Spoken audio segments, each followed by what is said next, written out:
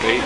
Had a really incredible traditional meal, and it's uh, it's goat actually, and everybody sits around the table like you saw, and um, has a soup made out of uh, Chinese medicine in the broth, and it's full of goat. Well, that's okay. It's full of goat, and they throw in uh, lettuce and tofu and, and all kinds of. Here's the meat that actually goes in the um, in the soup.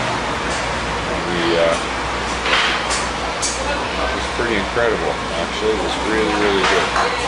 Really good and really different.